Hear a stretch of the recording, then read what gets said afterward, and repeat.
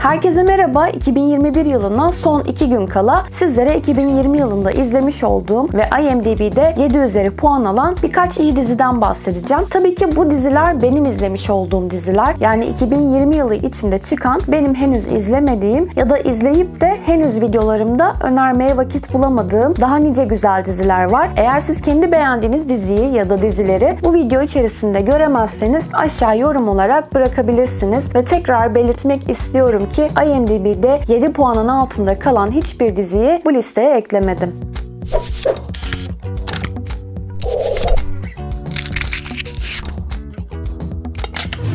Numara Emily in Paris. IMDb puanı 7.1. Özellikle gençlik dizisi arayanları önerdiğim bir kadın başarı öyküsü. İş dolayısıyla Fransa'ya gitmek zorunda kalan Emily'nin Fransızca bilmeden bu şehirde tutunmaya çalışmasını, işinde edindiği başarıları ve zaman içerisinde bir sosyal medya fenomenine dönüşmesini konu alıyor. Netflix'ten izleyebilirsiniz.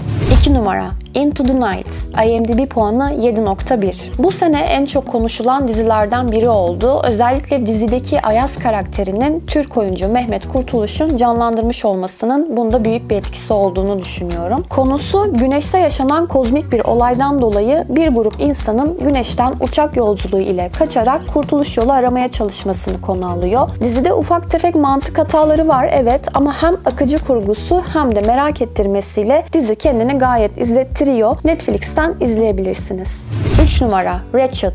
IMDb puanı 7.3. 1975 yılı yapımı Google Kuşu filminde bulunan hemşire Mildred Ratchet'ın hikayesini konu alıyor. Ben dizinin sinematografisine ve renklerine bayıldım. Sanat ekibi de çok ustaca iş çıkarmış. Diziyi izlemeden önce filmini de izlemenizi tavsiye ederim. Bu diziyi de yine Netflix'ten bulabilirsiniz.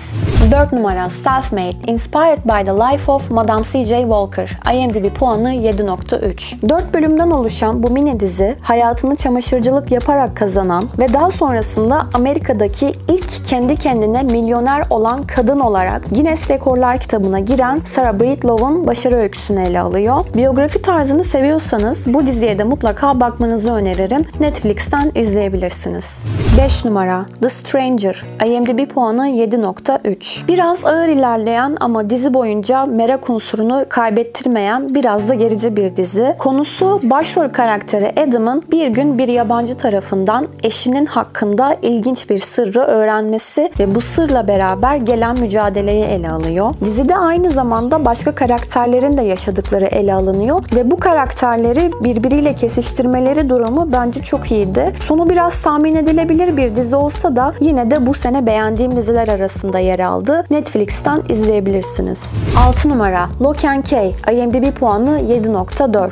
Senaryosunu daha doğrusu senaryodaki fikre bayıldığım dizilerden birisi. Stephen King'in oğlu Joseph Hillstrom King'in çizgi romanlarından uyarlanan bu dizi babalarının ölümüyle beraber aileden miras kalan gizemli bir eve taşınan üç kardeşin bu gizemli evde yaşadığı fantastik olayları ele alıyor. Bu eve anahtarlı ev diyorlar çünkü bu evde saklı olan birçok farklı özelliği olan anahtarlar var. Mesela örneğin bir tanesi kapıyı açtığınızda nereye isterseniz oraya gitmenizi sağlıyor ya da başka bir tanesi kişinin beyninin yani hafızasının içine girmenizi sağlıyor gibi birçok farklı özelliği olan anahtarları ele alıyor. Dizide ufak tefek mantık hataları var ama ben buna rağmen yine de çok beğendim. Fantastik tür sevenlerin bu diziye de mutlaka bakmasını tavsiye ederim. Yine Netflix'ten izleyebilirsiniz.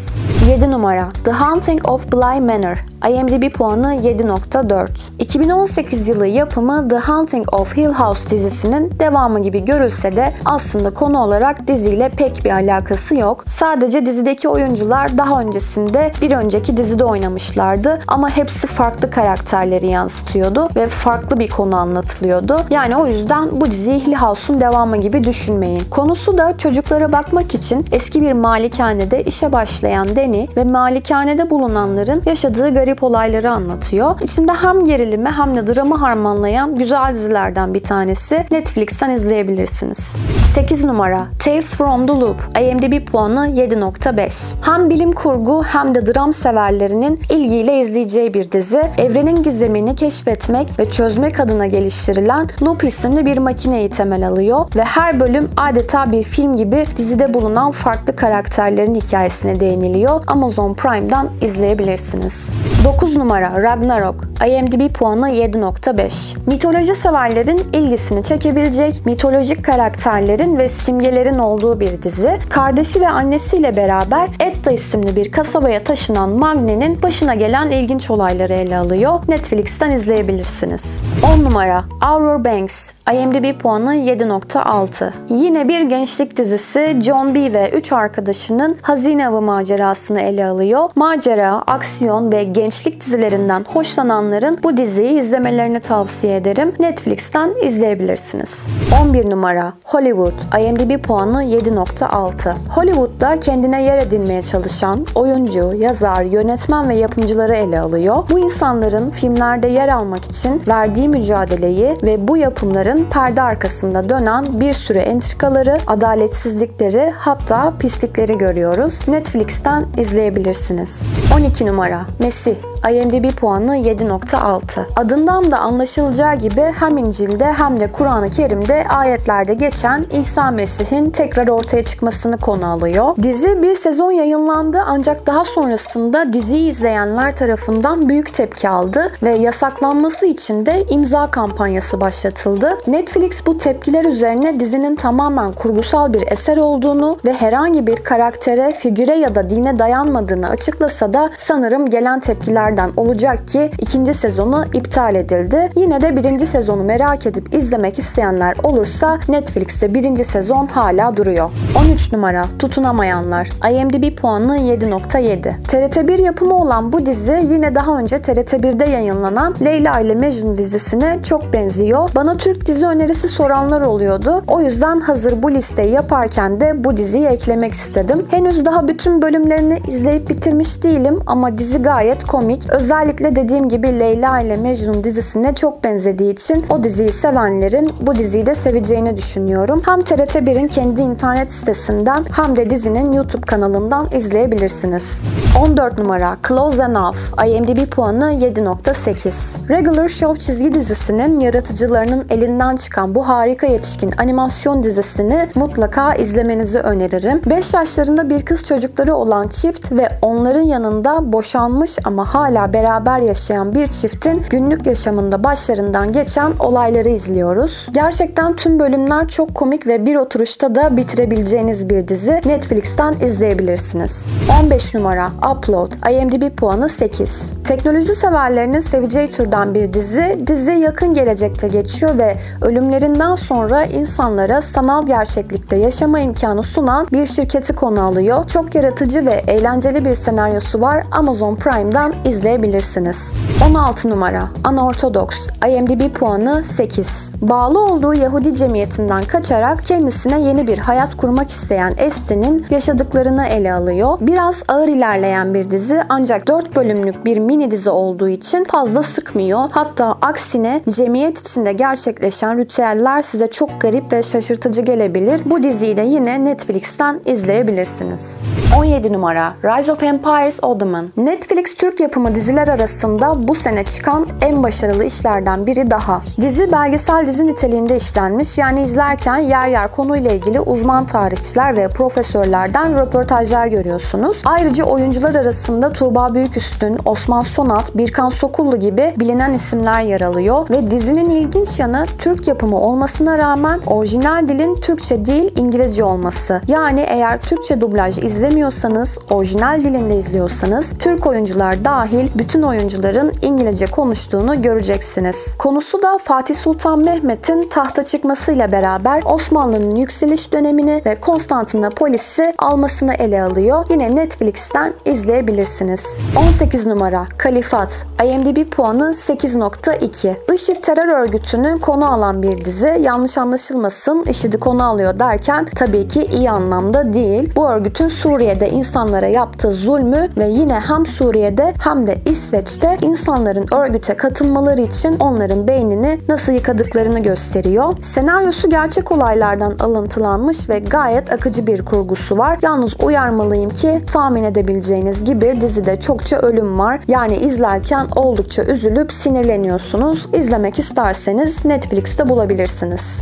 19 numara Bir Başkadır. IMDb puanı 8.7. Birbirinden farklı kişi ve hayatları ve bu kişilerin birbiriyle olan kesişimini konu alıyor. Aslında dizi hakkında bariz bir konusu var diyemem. Daha çok karakterler üzerine ve onların yaşadığı durumlar üzerine hesaplaşmalarını işliyor. Ama bence 2020 yılında çıkartılmış en iyi Türk yapımı dizi. Özellikle Yeşilçam filmlerini aratmayan dokusu, çekim teknikleri ve müzikleriyle bayağı ilgi çeken bir yapım oldu. Bana neden Türk dizi önerisi yapmıyorsun diyenler oluyordu. Böyle güzel işler olduğu zaman gördüğünüz gibi yapıyorum ve mutlaka da izlemenizi tavsiye ediyorum. Netflix'ten bulabilirsiniz. 20 numara The Queen's Gambit IMDb puanı 8.7. Bu sene en çok konuşulan dizilerden birisi oldu. Özellikle de satranç severler bu diziye bayıldı. Ama satranç bilmeyen bir insanın bile heyecanla izlediği merak unsurunu hiç kaybettirmeyen bir diziydi. Konusu da dünyanın en iyi satranç oyuncusu olmayı hedefleyen ve bu hedef doğrultusunda turnuvalara katılan Elizabeth'in yaşam öyküsünü ele alıyor. Hala izlemediyseniz bir an önce bu diziye başlamanızı öneririm. Netflix'ten izleyebilirsiniz.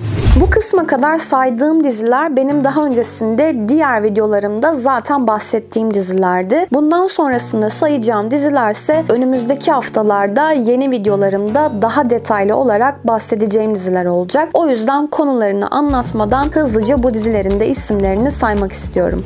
21 numara The Flight Attendant. IMDb puanı 7.2. Kurgusu çok hoşuma giden bir dizi oldu. Dizi HBO Max dizisi yani HBO Max henüz Türkiye'de kullanılmadığı için platform üzerinden izleyemeyebilirsiniz ama internette dizi sitelerinden ya da torrent olarak bulabilirsiniz. 22 numara AJ and the Queen. IMDb puanı 7.5. Konusu oldukça ilgi çekici. Daha sonrasında detaylı bahsedeceğim ama şimdiden izlemek isteyenler Netflix'te bulabilir. 23 numara The Undoing. IMDb puanı 7.5. İki gün önce bitirdiğim ve beni ters köşe eden HBO dizilerinden biri. Başrollerde Hugh Grant ve Nicole Kidman bulunuyor. İzlemek isterseniz Being Connect dizi paketi içerisinde bulabilirsiniz. 24 numara Alice in Borderland. IMDb puanı 7.9. Son haftalarda adından çokça söz ettiren bir dizi oldu. Senaryosu oldukça ilgi çekici ve merak uyandırıcı. Netflix'ten izleyebilirsiniz. 25 numara I Know This Much Is True. IMDb puanı 8.2. Biraz ağır ilerleyen dram türünde bir diziydi ama muhteşem bir oyunculuk söz konusu. Zaten mini dizi dalında en iyi erkek oyuncu Amy ödülü almış. Yine Being Connect'ten izleyebilirsiniz. Dediğim gibi saydığım son 5 diziyi daha sonrasında konularına değindiğim ayrı videolar çekeceğim için detaylı anlatmadım. Ama bu yıl içerisinde çıkan iyi diziler olduğunu düşündüğüm için de listeye eklemeden edemedim. Saydığım ilk 20 dizi ise zaten birçoğunuzun izlemiş olduğu Netflix ağırlıklı dizilerdi. Bana göre bu sene yani 2020 yılında izlediğim diziler arasında iyi olan diziler bunlardı. Sizler bu yıl içinde çıkan hangi dizileri izlediniz ve çok beğendiniz aşağı yorum olarak yazarsanız sevinirim. Bu videoluk benden bu kadar. Videoyu beğendiyseniz beğenmeyi ve kanala destek olmak için abone olmayı unutmayın lütfen. Başka bir videoda görüşmek üzere. Kendinize iyi bakın. Hoşçakalın.